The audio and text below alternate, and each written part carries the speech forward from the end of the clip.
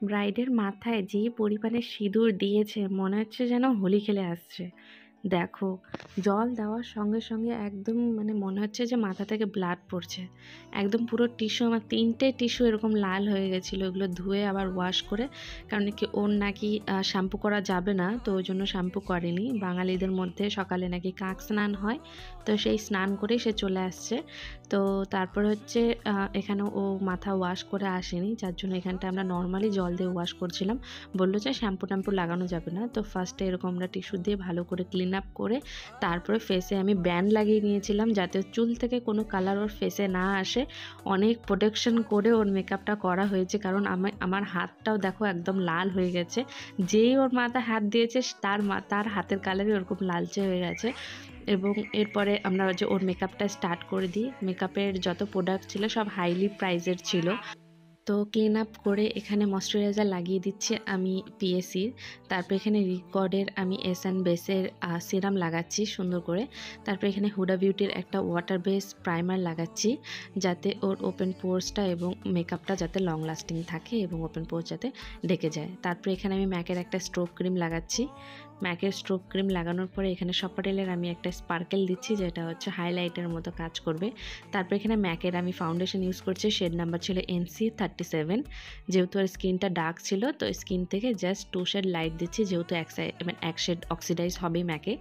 তো এরপরে সুন্দর করে ভালো করে মিক্স করে দিচ্ছি। এর সাথে আমি ব্লেন্ডার ইউজ করেছি পিএসির যাতে মেকআপের ফাউন্ডেশনটা দেখো কত সফটভাবে ব্লেন্ড হয়ে যাচ্ছে। তারপর এখানে হুডা বিউটির আমি লুজ পাউডার দিচ্ছি, যেটা ছিল বানানা পাউডার যেটা ওর স্কিন শেডেড ছিল, তারপর এটা ওর ফাইনাল লুক যেটা ওর হেয়ার স্টাইল করা হয়েছে এবং ওর পুরো মেকআপ কলকা এগুলো করা হয়েছিল। তারপর এখানে হেয়ারে একটু জিপসি লাগিয়ে দিয়েছিলাম এবং ওর এক সাইডে আমরা গোলাপ রোজ এগুলো লাগিয়ে দিয়েছিলাম। ওর শাড়ির কালারে লিপস্টিকটা আমি বলেছিলাম রেড পরতে বাট ওর রেকমেন্ডেশন ছিল যে ওর রেড পরবে না, অন্য একটা কালারের লিপস্টিক দিতে। তারপরে এখানে ওর হেয়ার স্টাইলটা করে নিয়ে জাস্ট হেয়ারে একটা স্প্রে দিয়ে দিয়েছিলাম যে, কারণ ওর সামনে কিছু কিছু হেয়ার ছিল যেগুলো একদম মানে লালচে হয়ে গেছিল তাই জন্য এখানে আমি লোরিয়ালের একটা স্প্রে দিয়ে দিয়েছিলাম। তারপর এখানে পার্টি মেকআপ ছিল আমার পাঁচটে। ফার্স্টে একটা ক্লায়েন্ট দেখলে, তারপর সেকেন্ডের ক্লায়েন্টের আমি ফুটেজ নিতে পারিনি। এটা ছিল থার্ড ক্লায়েন্ট যার এখানে হেয়ার স্টাইল করছে। আমার স্টুডেন্টরা ওরা খুব সুন্দর কাজ করেছে। পূজা, ঋতু, আঞ্জুমা, প্রচণ্ড ভালো কাজ করেছে। মানে আমার এত সাপোর্টিং করেছে এই দিনগুলোর মধ্যে। এবং ওরা খুব সুন্দর সুন্দর লুকগুলো ক্রিয়েট করেছে। দেখো, এটাও আমার স্টুডেন্ট করেছে। অনেকেই ভাবো যে স্টুডেন্টরা কেমন করবে না কেমন করবে।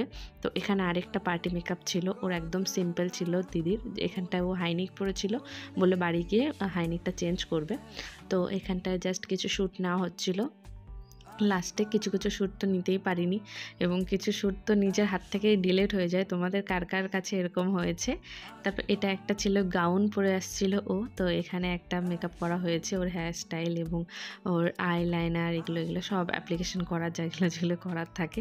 তো তোমরাও যদি এরকম পার্টি মেকআপ করতে চাও এবং বিয়ের জন্য বুকিং করতে চাও তাড়াতাড়ি বুকিং করে নিও। কন্ট্যাক্ট নাম্বার দিয়ে দেবো। Thanks for watching video